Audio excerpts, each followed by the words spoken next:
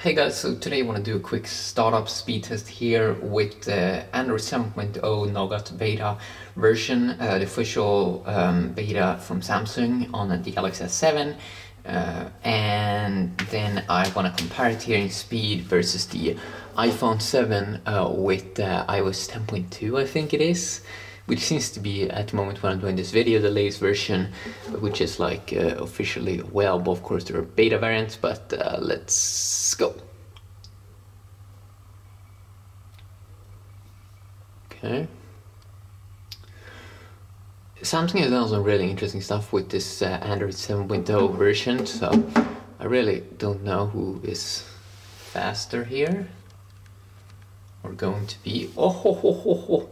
wow yeah, Apple is really good lately also in like optimizing speed and um, also saw a video that the uh, the iPhone 7 gets a really really good uh, Geekbench score so that's a good strong processor.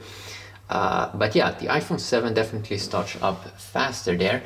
Uh, a little bit funny here how both have kind of like a um, kind of almost similar background uh, available in the, the default wallpapers uh, so first off, we can just uh, see here what I am running.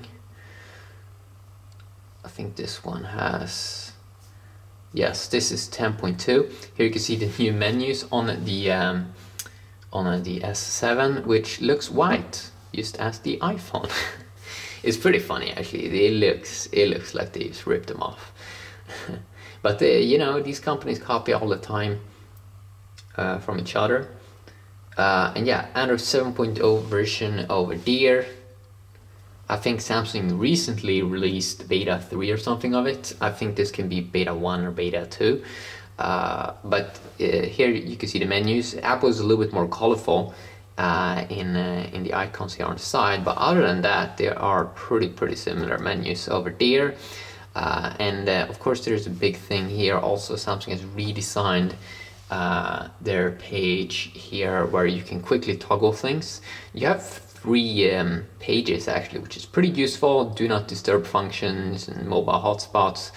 Actually, mobile hotspot, I don't think that's been uh, quickly available in here. Of course, Apple still only allows a few things you can tweak uh, or actually, there is a few 1, 2, 3, 4, 5, 6, 7, 8, 9, 10, 11. Yeah, I mean, Apple has a lot, some things you can tweak, but here it's 9. Yeah, it's definitely for sure more things you can tweak here on uh, the uh, on uh, the uh, Sammy Boy. And it's pretty funny here, the icons looks very, very similar as well. I mean, it, it's almost like, I mean, it's pretty hilarious. Uh, if you look at the multitasking here, you can also see both have like big, uh, large pages, but Samsung is going up and down like this. Apple is going to the side. I gotta say Apple is a little bit more smooth here when you're going like this. Like uh, you can very, very quickly go back to the first page. Uh, it's smooth here as well, but not in the same way.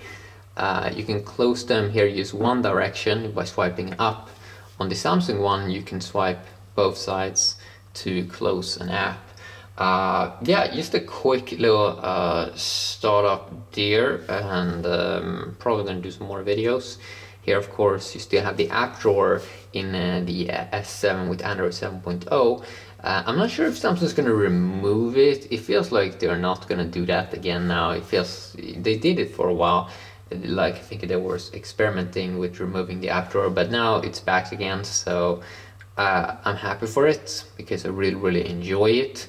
Uh, I might compare some apps like the camera apps, for example, because Samsung for sure has updated it a little bit here how it looks. And when I think about it now, isn't this almost a little bit like the iPhone? Let's see.